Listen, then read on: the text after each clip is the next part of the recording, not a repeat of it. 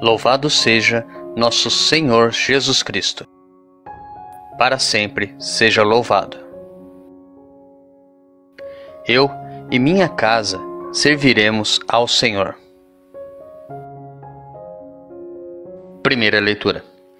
A leitura de hoje é tirada da segunda carta de São Paulo aos Coríntios, capítulo 9, dos versículos 6 ao 10. Irmãos, quem semeia pouco, colherá também pouco. E quem semeia com largueza, colherá também com largueza.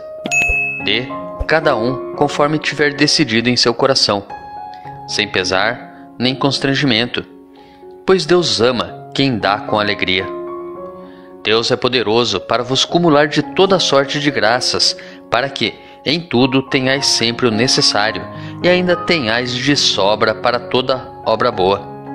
Como está escrito: distribuiu generosamente, deu aos pobres.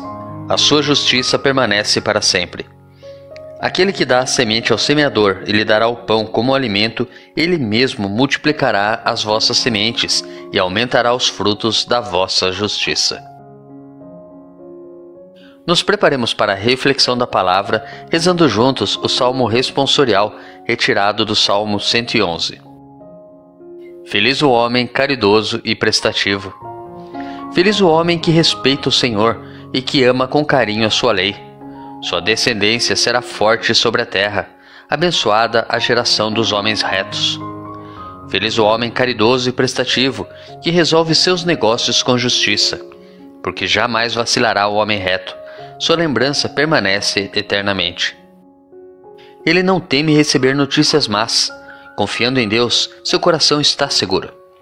Seu coração está tranquilo e nada teme, e confusos há de ver seus inimigos. Ele reparte com os pobres os seus bens, permanece para sempre o bem que fez, e crescerão a sua glória e seu poder. Feliz o homem caridoso e prestativo. Evangelho. O evangelho de hoje é tirado de João, capítulo 12, dos versículos 24 ao 26. Naquele tempo disse Jesus a seus discípulos: em verdade, em verdade vos digo: se o grão de trigo que cai na terra não morre, ele continua só um grão de trigo. Mas se morre, então produz muito fruto. Quem se apega à sua vida, perde-a, mas quem faz pouca conta de sua vida neste mundo, conserva-la-á para a vida eterna. Se alguém me quer servir, siga-me, e onde eu estou estará também o meu servo. Se alguém me serve, meu Pai o honrará.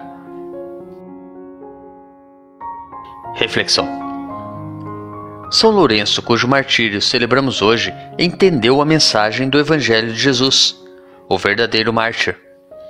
O diácono Lourenço fez-se grão de trigo, caiu por terra e, morrendo, produziu fruto de grande testemunho de fé em Jesus Salvador compreendeu a verdade evangélica de que servir a Jesus é doar-se em favor dos mais pobres, desapegando-se de sua vida neste mundo para conservá-la para a eternidade. Para o nosso exemplo e como testemunho de fé para todos, entendeu ainda o significado do ensinamento de Paulo na primeira leitura que ouvimos hoje. Deus ama quem dá com alegria, conforme tiver decidido no coração que o belo testemunho de São Lourenço se espalhe e se entranhe no coração da Igreja do Cristo Senhor. Mas e quanto a nós?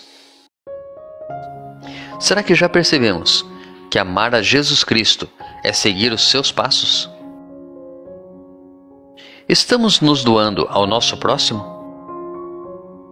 Ou será que não temos tido tempo?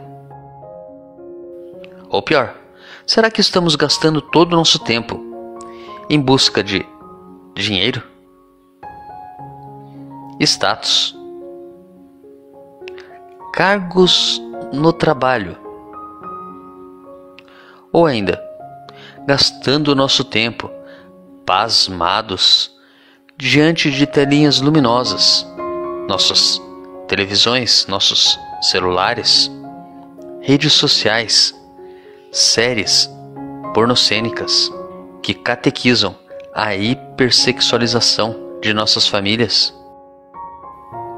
Gastando nosso tempo assistindo ou lendo notícias ruins de jornais e mídias sensacionalistas que só pregam a desgraça, a morte, etc. Mas hoje é um novo dia. A quem decidiremos doar o nosso tempo? Reflita.